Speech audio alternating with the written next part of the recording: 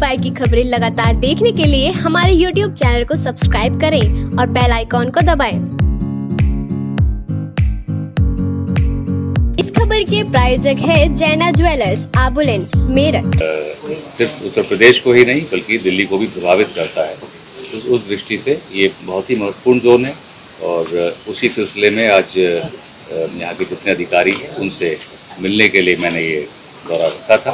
सबसे आज मेरी मुलाकात हुई उनके साथ अपराध की समीक्षा की गई, जो समस्याएँ हैं उनकी भी सुनी गई, जो लखनऊ में लंबित इनके प्रस्ताव हैं, उनके बारे में जानकारी प्राप्त की गई, ताकि उसको वहाँ पे फॉलो अप किया जा सके।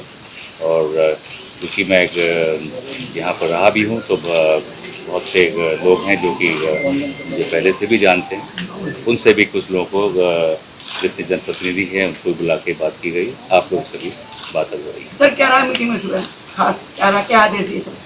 अभी तो हमने जितने भी हमारे एस हैं सहारनपुर और मेरठ जोन के और नोएडा कमिश्नरेट के जो हमारे कमिश्नर साहब हैं सबने अपना अपना प्रेजेंटेशन दिया अपने अपने क्षेत्र में जो अपराध है उसके बारे में जानकारी दी और उस क्या क्या अच्छा कार्य इस समय हो रहा है या क्या कदम उन्होंने उठाए हैं अपराध को काबू में रखने के लिए, उसके बारे में बताया।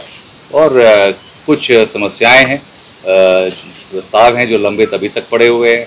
मसलन बागपत इतना पुराना ज़िला हो गया है, लेकिन उसके लिए अभी कोई पुलिस लाइन इस तरह की बात अभी नहीं चयनित हो पाई है। शामली में पुलिस लाइन की भूमि चयनित हो गई है, लेकिन अभी काम शुरू नहीं हुआ है। इस तरह के अलग अलग प्रस्ताव किसानों की समस्या है लग रहा है भारतीय किसान यूनियन किसी भी लोग के खिलाफ लगे उस पर भी आपकी कोई चर्चा हुई होगी जो नोएडा गाजियाबाद और मुजफ्फरनगर सामने जो प्रभावित ज़िले हैं? उस पर बात हो रही है कि पुलिस का मुख्य काम अपराध नियंत्रण के साथ साथ कानून व्यवस्था को बनाए रखना है। उसके बारे में जो भी आवश्यक कदम होंगे उठाए जाएँगे। 2022 के चुनाव की पास में है और किसान आंदोलन भी एक तरीके से तेज़ी से पकड़ता जा रहा है। आंदोलन तेज कर रहे हैं ये लोग। और इस पर क्या बात हुई है, क्या चर्चा हुई है, क्या इसमें कदम उठाए जाएँगे आने वाले समय में देखिए सब, जैसे मैंने बताया, कानून व्यवस्था बनी रहे, शांतिपूर्ण ढंग से चुनाव संपादित जो आगे आने वाले हैं।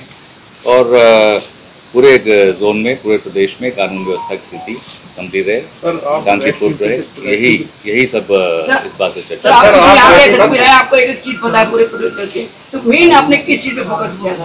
जो आपको लगा कि देखिए देखिए जब जब मैं यहाँ एसएसपी था उस समय अपराध दूसरी तरह का होता था।